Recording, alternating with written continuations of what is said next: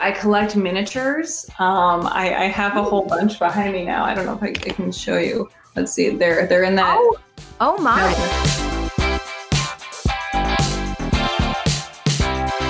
Hello, everyone, and welcome back for a brand new episode of Ladies Night. I have Lauren Lapkus with me today, and I am so excited to talk about everything you've done. And of course, we are paving the way right now to your new Netflix movie, The Wrong Missy. So, how are you doing right now?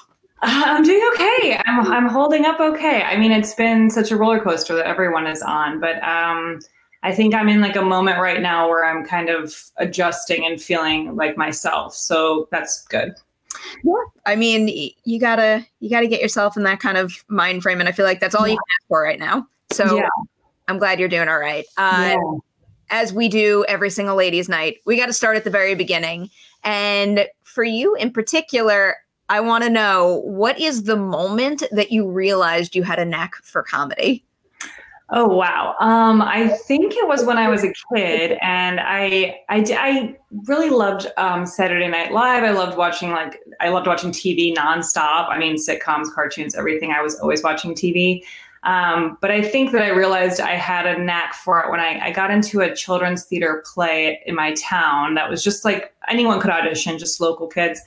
And I didn't get it was Beauty and the Beast. I didn't get any of the main parts at all. They actually just added in a side character named Mother Wolf, and it was completely made up and never to exist again. And um, the character got to kind of like improvise in between little scenes. So I ended up getting laughs during that, and it really was just so validating. It was so fun, and that's the first memory I have of performing on stage and feeling the energy of that. So I know nothing about this Mother Wolf character, but I'm pretty sure that's how Disney could have brought their live action version of Beauty and the Beast to the next level if they cast you in that role. That is so true. They really missed out. I mean, it was a great role. I stood on the side of the stage mixing uh, imaginary cake in a bowl it was just like a mother, you know. I'm curious. Was she related to any of the characters we knew? Why did she pop up? No, I think it was like a runner through the play where I, I had like a husband and a, a child, and we were finding someone who was missing or something. I really don't know. It was like unrelated to everything. I do. I really just want kind of like these alt versions of all the Disney classics rather than the straightforward reimaginations that we're getting right now. Yes, I know. This was all like probably local parents writing this and just being like, we have too many kids. We have to add some rolls to make it up.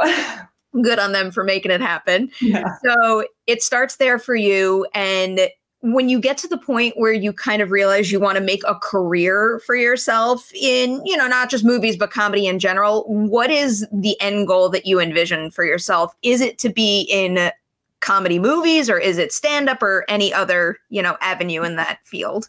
Yeah, I think as a kid, it was so hard to imagine like getting on a TV show. I had no connection to Hollywood or anything like that. I didn't understand how someone went from just being a person to being inside the TV. Like it just didn't make sense to me.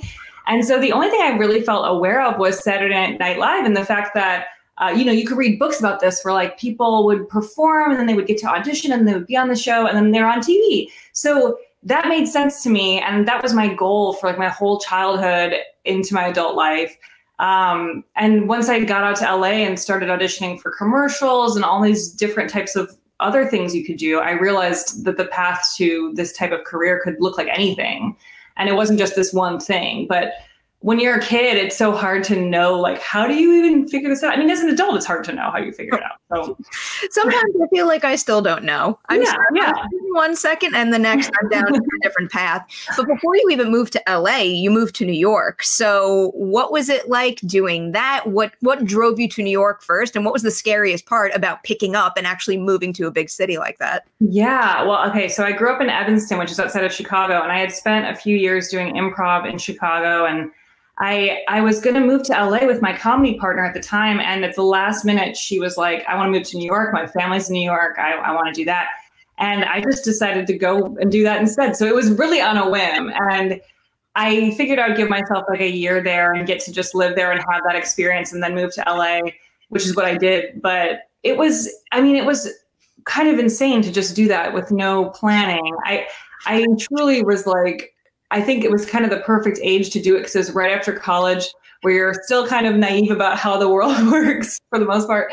And I could just kind of go and not really think about how difficult it would be, which it was definitely difficult to live there. I applaud you all day long for that. It took me way too long to move from my hometown in New York to go out to LA. So I really yeah. imagine having that switch happen on you and just going with it. Yeah, yeah. I, I, I think it was just that feeling of like, well, I still want to perform with you. I don't know what to do, and like I'll just go. So it yeah, it was kind of a, a, random choice. Plus, I always wanted to live there, so it was it wasn't like she just picked the middle of nowhere. You know, she picked New York City, which is a good city. Is this someone you still perform with, or was there a kind of that situation where eventually you hit the point where you're like, you know, like you're my partner, but now I need to branch out and feel confident doing this on my own? Yeah, it was that. I mean, we we performed together in Chicago and in New York as well once we moved. Uh, but I also needed to make friends in this new city, so I couldn't just rely on her. And so I started doing. Um, I did a children's theater company there called the Story Pirates, which is uh, this really great organization where kids write stories and then actors perform them on stage. So it's it's and it's really like high quality. It's so great. It's so fun. Um, and I loved doing that. And that, the, like branching out in that way and meeting new people was so important for me because I think it would have been easy to just kind of stay close to what I knew and not try new things. There's no easy answer to this question, but whether it's New York or LA or no matter what scene of the industry you're in, I feel like it is very, very challenging to meet new people. So if someone out there wants to start building connections like that, what would you suggest that they do? Yeah, I mean, if you if you're interested in in acting, I would say to take a class of any type, like improv or just an acting class or a commercial auditioning class. Anything that gets you to be in a room with other people because that's so much of it. Like I, I think I learned so much just from watching other people and then you become friends just because you keep seeing each other every week. So it, it really was how I made all my friends in Chicago and New York was through improv and taking classes and and kind of putting yourself out on a limb and, and suggesting like, hey, let's go get a drink or you know, all that stuff is so hard, but you kind of have to push it sometimes whether it's just the social scene like that or even just with your on-screen comedy have you always been someone who kind of never really worried about you know acting silly or going out on a limb? Or was that something that that changed at some point in your life? Yeah i think i think i thought of myself as someone who would do that but then you know in certain situations i would freeze up or whatever. And i i do think like i started doing improv classes when i was in high school at improv olympic in chicago and that was so life changing because I think getting up on stage and, and really like feeling what it feels like to put yourself out there in that big way of performing in front of an audience rather than just like making remarks in a classroom or whatever, which is what I was doing before. Uh, really like pushed me to to figure out what my angle is and like have confidence and it, it's so hard. I, I, definitely was nervous every week before class. Like I remember just taking the train there and and and being so nervous. Like, what am I going to say and what am I going to do and how's it going to go? And you you can't plan it. So it was a good lesson. I give you all the credit in the world because even when I do these things, it's just like every single question. I'm always fearful to like crack a joke because I know I'm not funny and it freaks me out to know. no, it's everything is like that though. I feel like that it never goes away fully for. I mean, I can't imagine it goes away for anyone. There's always that feeling of a little bit of nerves of everything. You know, all these all these things we do where we put ourselves out there. What was it like getting your first big gig? Actually, before I even go that far, what what is the gig for you that kind of made you believe that you know this isn't just what I want to do? This is what I'm doing. I am pursuing a career down this route now. Yeah, I mean, I thought it about every all, all, the first jobs I got. I was really excited. I, I got a couple commercials, and I got um, a, a, a, one time I got to do a sketch on Jimmy Kimmel with Ryan Reynolds, and that was huge for me. That was my first like TV appearance. Um, but then I, I, booked a pilot and, that got picked up, and it was called Are You There, Chelsea? And it was Chelsea Handler's sitcom for NBC starring Laura Prepon, who I later reconnected with on Orange is the New Black. And that was really huge for me because I had never auditioned for a pilot. That I got a series regular role, and I and then the show got picked up, so we got to like actually be on TV, and that was insane. And it kind of was a, a marker for my family and like people I knew that like, oh, this is actually working out. Like yeah, I got a big part. Did anyone in your life, whether it was family or friends, uh, that kind of really needed that convincing? Was there any was there any doubt coming your way that you had to say like, I have this thing now and I can prove it to you? It's weird because I actually think my parents have always been so supportive. And even if they, I think in the moments when they were like doubtful, it was more out of like not understanding how things work or just knowing the odds are against you as an actor. But it was never that they didn't believe in me, but just that thing of like, is this really possible? Like, I don't know anyone else who's done this. So it, that was the kind of feeling I had that like, as much as anyone supported me, I still had to prove like, oh, you can, it, it can actually happen. Like, that it's not just like that you think I'm good. It's that like I did all these things and got through all these hoops and, and it really happened. So I think there's with actors, like there's probably still always that feeling of trying to prove something to somebody, even if you can't name who that person is. It's like that little voice inside yourself more than anything. Is there anything about Are You There, Chelsea, that makes you think, I am so thankful that I had that early opportunity on that particular show, on that set with those people, and, you know, maybe not elsewhere? Yeah, I mean, it was amazing because first of all, the the writers of the show were so funny and so supportive, and they really like everyone understood that it was my first big job. So I look back at it and I think like, oh, I definitely did things that I wouldn't do now, or you know, probably said dumb stuff that I I now know how things work better or whatever.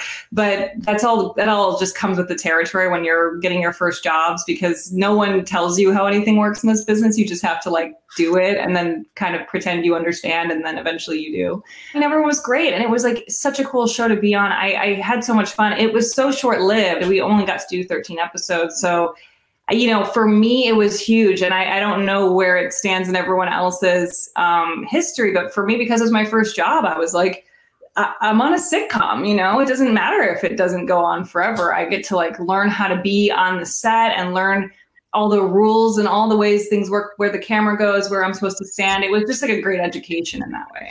What is something on that set that made you go, oh my, like I thought it worked this way, but it actually happens this way. And this makes a lot of sense now. Oh, yeah. Well, this one, this is a really dumb thing, but I remember like before my first taping, I was standing backstage and I realized I had like really sweaty pits because I was nervous. And I was like, oh, I said to like the costumer, like, oh, um, my armpits. And she was like, oh my God. And she started like blow drying my armpits. Because of course you don't see anyone on a sitcom with sweaty armpits. But I, I just was like, oh, I won't lift my arms. Just, you know, it was just, and she started like blow drying them. And then uh, from that point on, they put these things in my, my dress, my shirts called dress shields, which are like little like armpit pads, which are amazing, by the way. If anyone sweats and you're going to like an event, it's like the best thing ever. But that was so huge. I was like, oh, they can fix anything. They they want me to look perfect. They want this to look right. I I, I shouldn't just pretend everything's fine and go along with it. Um, so that was a great lesson because I think it, it taught me to like speak up if I if I have an issue, you know, and not just be embarrassed and pretend everything's fine. As much uh, as I appreciate the attention to detail, sometimes things like sweaty pits or seeing someone wake up in a scene with messy hair just makes me even happier because it feels so real and true to my existence. Oh my God, no, I completely agree. I think it's just uh, on the multicam world where everything is so perfect. You know, it's like you can't get away with that. Jennifer Aniston never walked out of Friends with some sweaty armpits. That is a very, very fair point. Speaking of multicam or any style of shooting for that matter, is there any particular shooting format that you still find the most difficult to adjust to? It was great that I started on multicam, I think, because it's a really precise format. And so you have to hit your mark exactly right and say your line exactly as you've rehearsed it so that every camera that's moving knows exactly what to do. It's more like a play that's being shot perfectly in time. So it was a great way to start because I, I started with coming from a perspective of I have to do everything just so. And then when I was able to get roles on single cam shows, like something like Orange is the New Black, you know, you still have to hit your mark and people are expecting you to do things a certain way, but there's a little more of a looseness to it. And I was able to like kind of fall into that. I think it's harder to go the other way in my guess, you know, my estimation. Like if you start with the more looser format and then have to go into the more particular format, it's a little trickier. But for me, it was a great way to start. And you're, it seems like you're very into kind of experimental forms of comedy, whether it's different platforms, different ways to capture it. So, is there anything on the horizon for you in that respect? Something new that you're really excited to kind of, you know, dig into and give it a shot? Yeah, I mean, I, I feel like I'm always trying to figure out the next thing, and I do a lot of podcasts and something I've started doing is um, watch alongs where I talk over a show and people can sync it up with the show or the movie.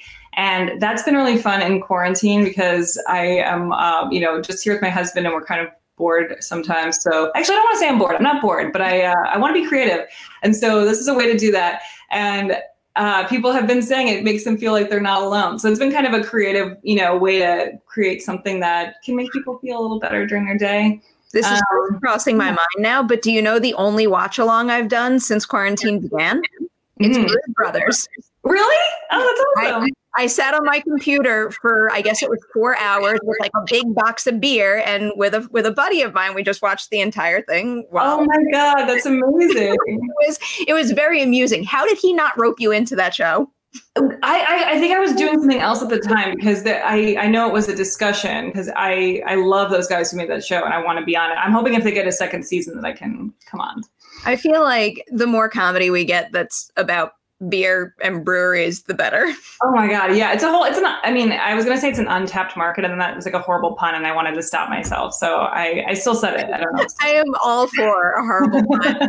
I do want to go back to Orange is the New Black though, because that show was a very big deal for me, and it did kind of feel like the thing that launched original content, or at least one of the uh, shows that launched original content on Netflix in a new way. So, what was it like first signing on to that, and at what point during the process? Process did you realize like wow this is going to change the game for consuming content in the future yeah, I mean, my so signing on to the process was really I got an audition in my email and I I did a self tape from home because the the casting director Jen Euston works out of New York. So I did an audition in my apartment, like just shot it and then sent it off and kind of had no idea what it would what the show would be because there were no other streaming shows and i mean house of cards hadn't even come out yet. So it was like this whole this whole uncharted territory where i just didn't even know what it was. I was like i guess netflix is not going to do dvds anymore. Like you just can't even wrap your head around it. So at the time i don't think i realized for a long time that it was going to be so huge. Um, but then once things started streaming and you know and we were waiting for the show to come out i remember the anticipation of the show coming out and and how cool it was. And it, it was just so, it was so huge. It was crazy to be a part of that. I, I loved following along. But looking back, and I'm sure there's a lot of answers to this question, but if you had the opportunity playing that character to have more scenes with anyone else in that ensemble, who would you choose and why? Oh, uh, Natasha Lyonne. She's my favorite. I just think she's the funniest. And we had a fun moment. I think it was in season two where it seemed like she was going to try to hook up with me as like part of her, you know, dare system or whatever it was. Um, and that was just hilarious to me. So I feel like she would be the most fun to work with. There's a whole lot of her filmography to be obsessed with, but obviously at the top of my mind right now is Russian Doll, which is I haven't watched it yet. I'm like this is a binge it. No, uh, that's great. I actually always forget all these shows that I want to binge, and I'm like, I need to like write it down because I want to watch that. There is just so much out there right now. Like yeah. I'm I'm shocked I keep up with as much as I do. But do you know what I did just binge? Not Brothers now, but I not that I had to do this, but I re-binged the entire Jurassic franchise because Fun. that's my thing. Jurassic Park is my favorite movie of all time, so you're not getting out of this conversation Jurassic with me for a little bit. But I know that you and Jake did a lot of improv on Jurassic World. So was there any particular line or beat that we can see in the movie that you are especially proud of that you guys came up with?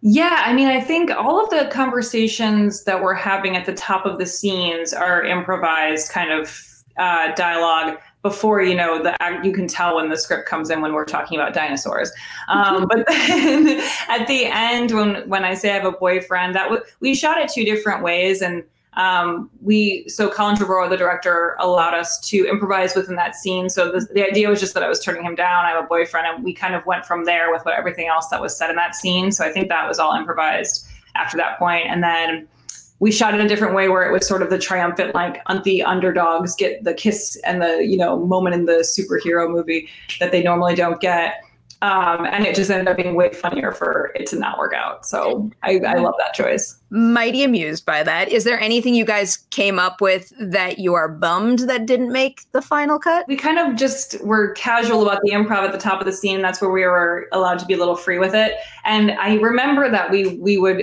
improvise for a long stretch of time and it was really cool that colin was willing to let us do that so i was just excited to see what ended up being in the movie and i, I couldn't really remember what we had said but uh, it was cool that a bunch of you know that loose stuff was in there. Is there any particular uh, dino jargon that tripped you up? Oh God, all of it. I mean, it's so hard, and I didn't want to say anything wrong. Um, yeah, I I I know that I'm like I talk about like the Packies have escaped the this or that. You know, it's like, I don't remember all of the terms, but uh, the hardest part I think for me was like just we were looking at blank screens while having these emotional reactions. So that was the most challenging part. I have to ask you this now because I know Jake is returning for Dominion. What what's up? You I don't know. No, I mean, I'm not in it, so I know that I'm. I'm. Uh, I have not received a phone call, but it's okay. I my character's still alive, so I'm. I'm like, you know, there's always the next one. There, well, there's that, and I'm also a big believer. Have you seen the short film Battle at Big Rock?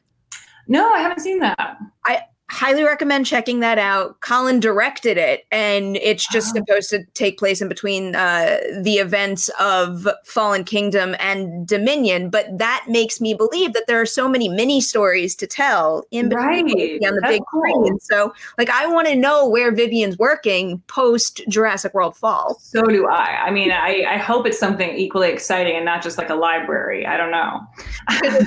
because I could talk about this stuff all day. Like, if you had to creatively come up with her post Jurassic World experience, like, what do you think she goes and does after having this traumatic experience? Does she snap back? No, you know, I think I'd like to think that she snaps back, but she probably went to like extensive therapy to like recover, like kind of took some time at home, you know, just relaxing, getting over everything. And then maybe trying, maybe she applied for a job at the new park and didn't get accepted. I don't know. Maybe that's why she's not in it. that yeah. I mean I, I pretty much would understand that kind of reaction and then not being able to move forward with what that whole operation winds up being totally. because you know it's not smart to put dinosaurs in a mansion and auction them off for four million dollars. Um the wrong missy now. And actually specifically working with the happy madison team how did that come about for you? Because i know you were in blended so did you kind of get to connect the dots on that yeah, that was really just a random connection. I didn't know if they would even remember me from that movie truly because I, I, had such a small part in Blended and it was huge for me at the time because I like always loved Adam Sandler and like was so excited to get to work on that movie. And then, you know, years later this audition came in and I really went in because David Spade was attached to star in it, and I was like, "Oh, I I love David Spade. I, I would like to be in a movie with David Spade." So that was really the thing that got me to go to the audition. And then the character itself is so fun; like it's just it's so wild. But um, really, I think it was just going to the audition was a, almost fresh eyes on me as far as they were concerned because it was so long between this movie and Blended, and my part was so small before, and so, what did they have you do in that audition? Because her moments are just so big that I I can't condense them to like a little audition space.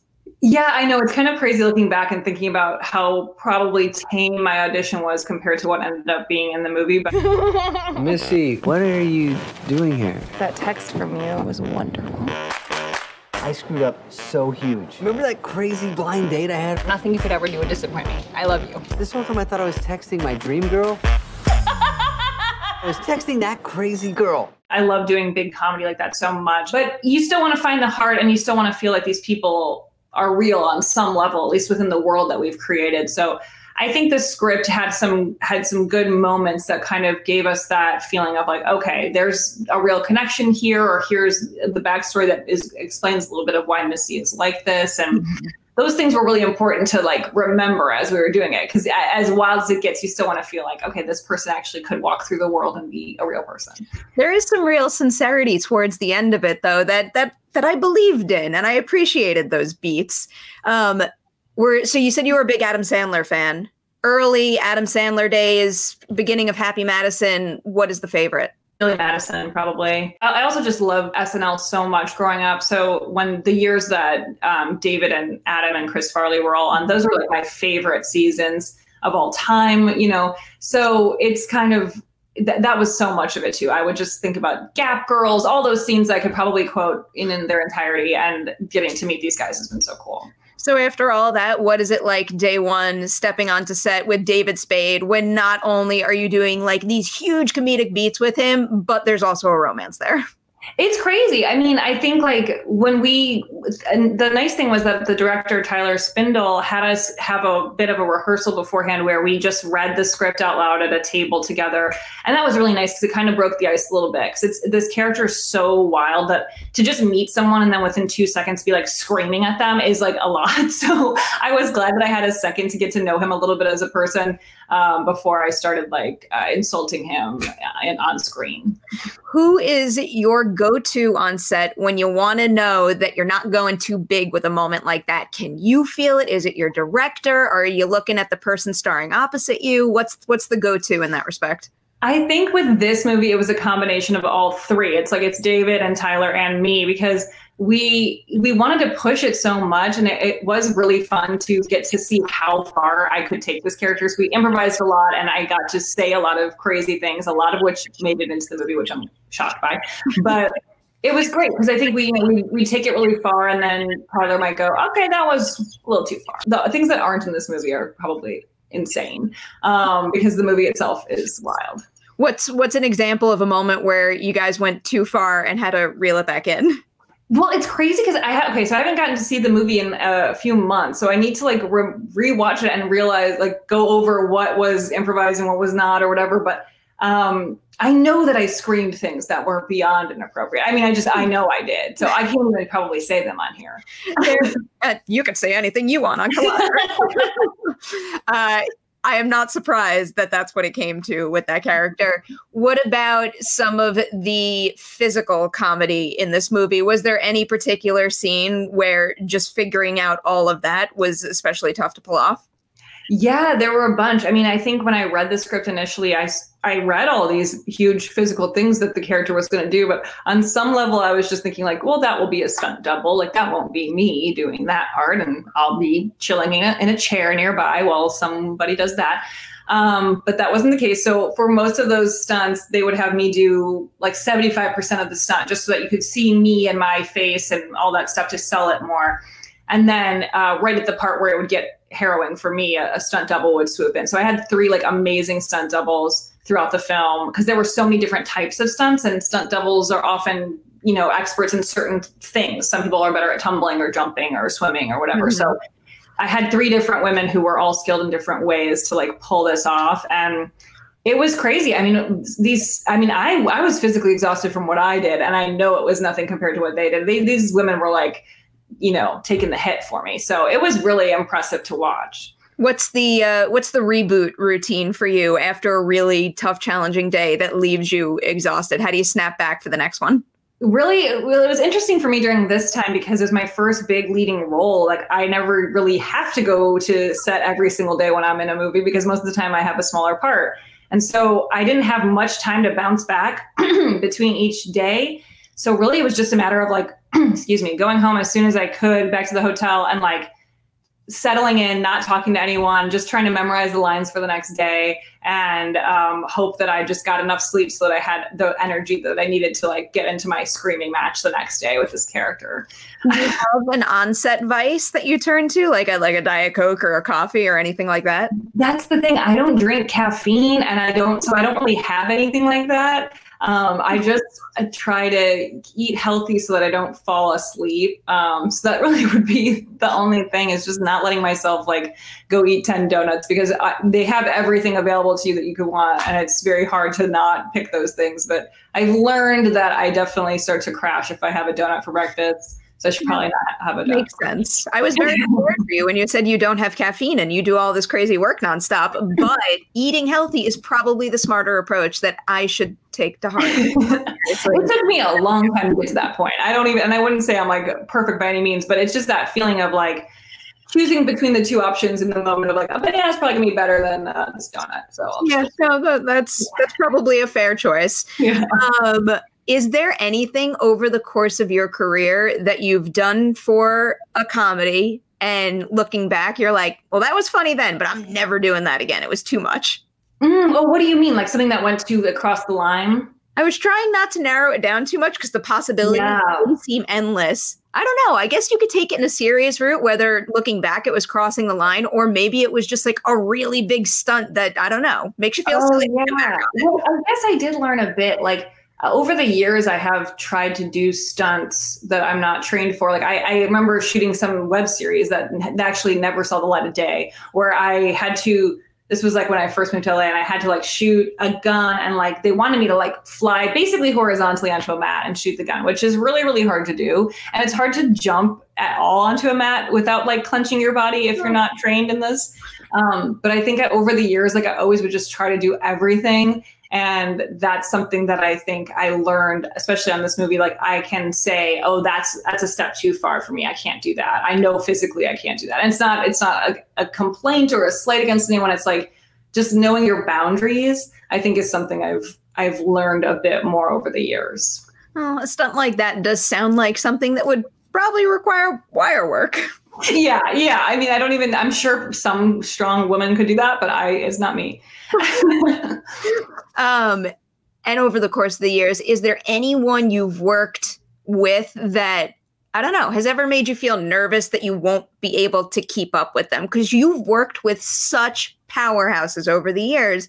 I imagine there is an intimidation factor that comes with it, no matter how many years you've been doing this. Yeah, there definitely is. I mean, there are people where it's just their presence is intimidating just because you you admire them and it's like nothing they're putting out. You know what I mean? It's just that feeling of like, oh, I've watched this person for years. And I felt that with so many people. Um, I mean, gosh, I, I could name so many. I mean, I think Will Ferrell's a good example, like just doing scenes with him and and feeling like, oh, I, I hope this is he thinks this is going well you know it, it's so you can never tell and everyone's so you know he's so nice and i, would, I was going to say everyone's so nice not everyone is so nice he's exceptionally nice but um it's it's that feeling of just like not letting your doubt take over too much and and just keep trusting yourself i, I think like working with Zach Galifianakis, I think he's one of the funniest mm-hmm. people ever, and he would make me laugh so much. And he's amazing at physical comedy and, and so fearless. And mostly I just was like, I just don't want to laugh and ruin what he's doing. So that was something I've had to work on. of, of all those projects that you've done on different platforms and in different formats, is there any one in particular recently that's kind of challenged you in a new way that you weren't expecting? Oh wow. I mean, I think I think with just doing um this movie really did challenge me in a lot of ways because I had to commit super, super hard to this character. And I think um, that was a great lesson you know, because sometimes you can do kind of winky uh, improv where you're kind of like, you know, nodding to the audience, like I'm in on the joke as well. And with this character, I just had to go completely to the wall with it and not take it, um, not have any sort of wink to the character because it's just so outrageous that you have to commit 100% or it doesn't work. Mm-hmm. Um, so that was that was a, something that I think was really important for me to do to kind of see like, oh, it, it takes like this level to to pull this off she's so true to herself from start to finish. It's like she knows Boy. who she is and she freaking owns it nonstop. Yeah, so it's an admirable trait for sure. She has no uh, worries about what anyone is thinking about her, which that's not true for me. oh no. Well, I mean, we all have that. And I feel, like, I feel like if we all didn't have that, it it would be a situation where we all didn't want to keep getting better and better as people or doing what we do. So I don't know. Yeah, I think Missy's an exception to that, where she's still trying to learn new things while also not caring what people think, and she'll she also will scream at anyone. So there's yeah. a you know, there's a weird part to that. yeah, you gotta you gotta find the the fine line somewhere in. Yeah. Um, is there anything that you still really want to learn about the industry and how it works? Do you have any interest in getting behind the lens more often? Yeah, I think directing is something I'm really interested in. I, I directed a short film uh, last year, and that was really fun for me, and just it's just a great experiment to like see how it works, and um, that's something I'm really interested in doing more of. It it it's a whole different skill set, so it can be a little intimidating to try to get into that, but um, I've seen a lot of my friends, you know, take that step, and it's something I'm really interested in. Is there anyone in particular that kind of serves as a motivating factor in that respect, where you watch what they did, you were so proud, and you're like, I want to follow you in that path? Oh, well, my friend Maureen Bharoocha is so amazing. She's a, and my also my friend Sarah Moshman. These are two uh, female directors I'm very close with who are like incredibly talented, and everyone should go watch their stuff. I will actually uh, make a plug for Sarah Moshman. She has a new documentary called Nevertheless, it's all about sexual harassment in the workplace. It's like amazing. It, um, and Maureen has a new movie called Golden Arm that just was at South by Southwest, and mm. um, I think they'll be releasing it virtually. And Sarah, all of Sarah's documentaries um, are are female empowerment based. She did one called Losing Sight of Shore about four women who rowed the Pacific Ocean, which is a feat that had never been achieved by four women. So that documentary just left Netflix. I don't know where it's going to be next, but you can stream it somewhere else. But she just is always doing empowering stuff and and I really really admire her. We've been oh. friends since we were 12, so it's really cool to see. I love that so much. And it does seem like you like especially if you're if you're part of the uh the Happy Madison family right now. I don't know, it just seems like you keep working with the same people and you've got a really good community around you and I don't know what better place to be in to keep getting creative and do do, do different yeah. things. Yeah. Yeah, I do think it's nice to have that loyalty. I really admire that about the whole Happy Madison team that they they keep people around and it's really nice nice. Here's another Happy Madison question for you. Is there anything about their process with making a feature that makes them stand out from other production companies you work with? Well, I think one thing that's what's been interesting for me is that because it was my first big role in this way, I, I was able to be aware of more conversations like that than I typically am. I, I think I usually just am, you know, arriving on set to my my scenes, and that's really all I get to see. So I, I got to know the producers and they were so cool and really wanted me to feel comfortable and wanted me to be able to express myself fully. And they were so creatively supportive. So I'm really, really grateful that they were so open and excited to work with a, a new person. You know, they, they weren't clicky about their whole crew. I love hearing that. Uh, firm believer that a film crew is a family. So if you don't have those positive vibes, I don't know what to tell you. Yeah, it's so true. So we always end ladies' night with some rapid fire questions. Okay. Many of which I've asked before. A lot of them just come to my mind on the spot. So okay. let's go with what is the most recent TV show that you've binge watched? Oh, um, well, binge is such. Oh gosh, I, well, I mean, it's Real Housewives. I'm always watching Real Housewives. Okay. Okay. I'm not really a reality TV show person, but I will say this is a good plug for Netflix the Netflix reality dating shows have just like seeped their way into my life and they're not they are. yeah. Have you watched either Too Hot to Handle or Love is Blind? I watched them both. Yes, I watched them both. I'm going to keep going down this path now. Who is your favorite uh, contestant and or couple on each? Oh my gosh. Okay. Well, I can't really remember anyone's name on Too Hot to Handle. I kind of was doing a puzzle while I watched that one, which I think is totally appropriate.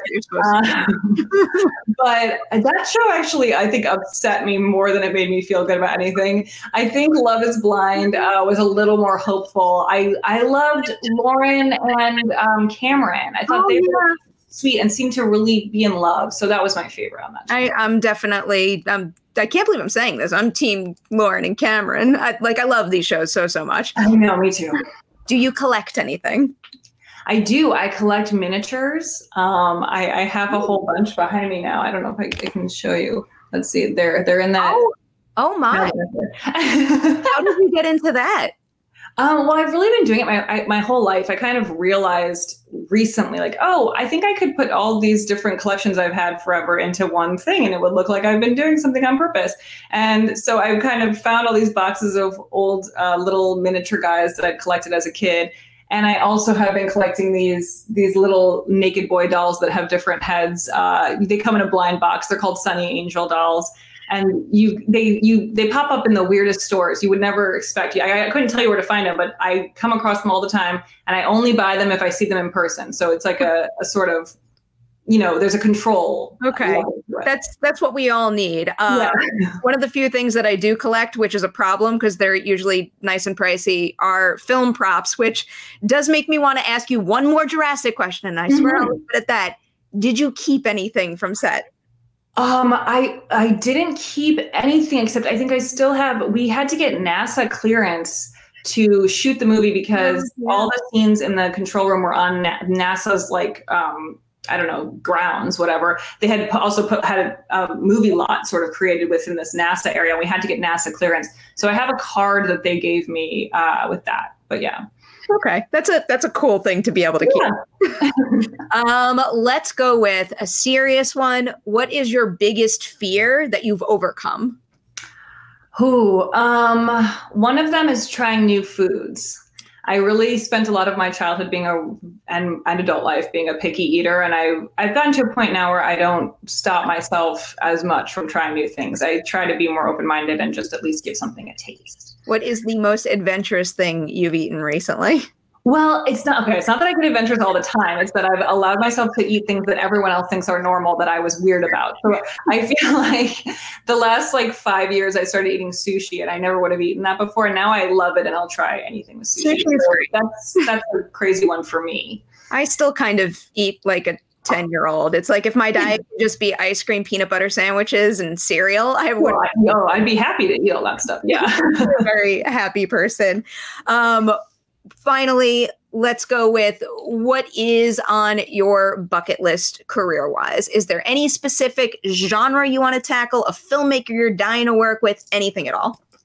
Oh wow. I think my dream would be to do another big comedy like this. I, I really admire Melissa McCarthy and uh, Maya Rudolph and women like that, who, and, and Amy Poehler, like people who've uh, had amazing careers doing really fun, big movies. And I would love to get to do like characters that are as big as Missy and something else. It's it's so fun.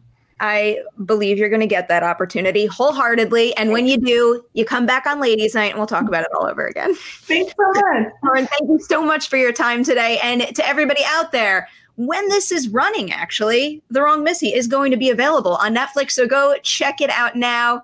Again, thank you for your time. I hope you are staying safe and we'll see you next time.